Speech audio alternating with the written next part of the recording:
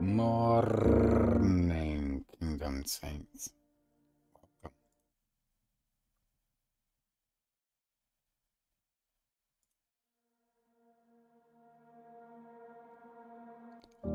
Let's talk about Ephesians 2 8. For by grace are ye saved through faith, and that not of yourselves. It is the gift of God. That means exactly what it says.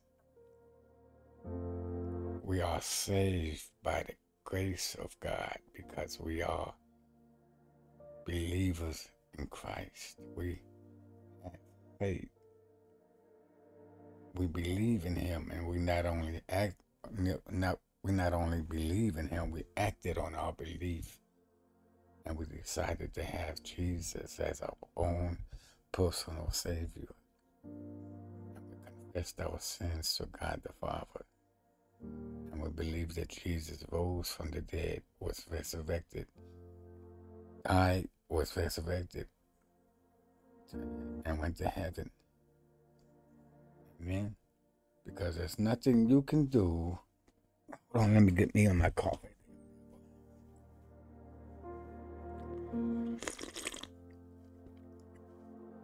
Yes, I drink coffee at night. I drink coffee in the morning. And I drink coffee in the daytime. I'm a 24 hour coffee dude. Let me bring my mic up a little bit here, there, that boy. There is nothing, absolutely nothing that we can do to earn grace. You can't earn it. You can earn your paycheck, but that's about it. You can't earn grace. It is a gift of God. You can't make yourself righteous. You can't make yourself justified. You can't make yourself clean. Only Jesus can do these things when you choose Him.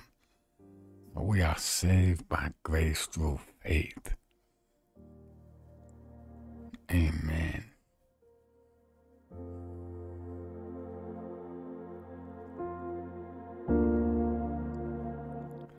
For he is our peace, who had made both one and had broken down the middle wall of partition between us. When Jesus, Jesus died on that night at Calvary, the veil between God and man was torn. The veil that the Pharisees had in the temple. Big, big, big, big veil.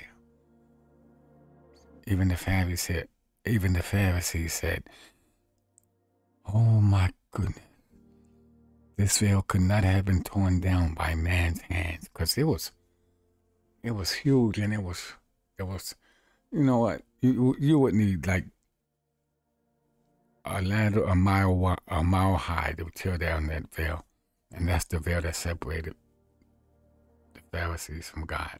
That's where they would go to um, talk to God. Pray to God that's the veil and it was torn down. When that veil was torn down on the night that Jesus gave up the Spirit,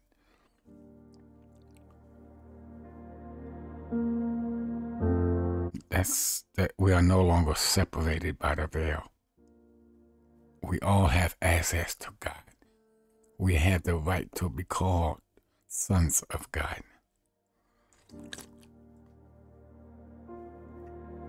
Only if you choose Jesus.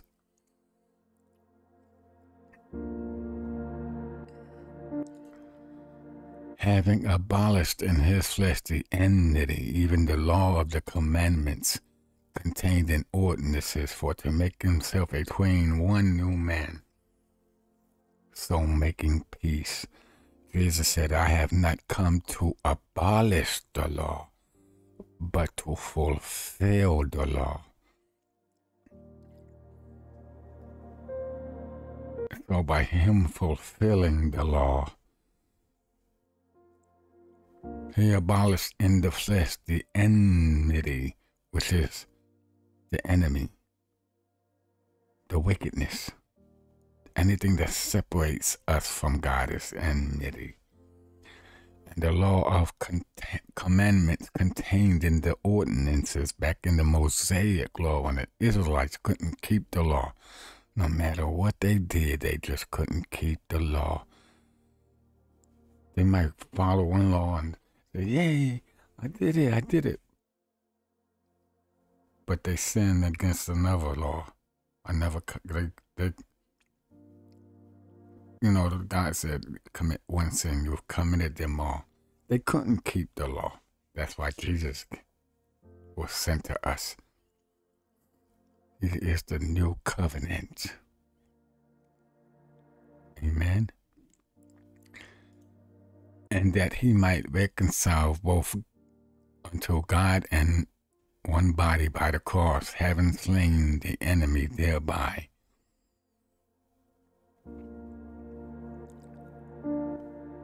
Jesus is the Jesus is the propitiation of all our sins. He's our mediator. And he reconciles us to God. He reconciles us to God by the cross, by his death and his resurrection. By his death and resurrection, he has reconciled us back to the Lord because he died for all the sins of mankind. He is the new covenant. And he has defeated Satan. He has defeated death. Jesus said, I rose from the dead, and so shall you. Jesus said, I have overcome the world, and so and so shall you.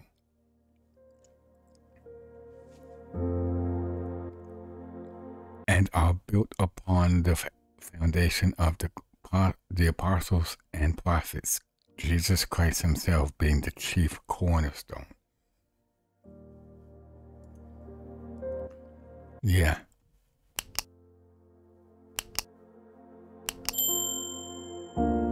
That's part of the new covenant. Because the apostles laid down the foundation when they went out and preached and evangelized. They was laying down the foundation for salvation, for for the pathway to eternal life with Christ Jesus. And that foundation has Jesus as a chief cornerstone. That means he's the head honcho, the big cheese. As we say, el melo melo. Eh? Anyway, that's our little short Bible study for today. So if you like this video, subscribe, and hit that little subscribe button right there. Thanks for watching. Open your Bible today. Open your Bible to pray. Open your Bible today. Open your Bible to pray. Open it. Open it.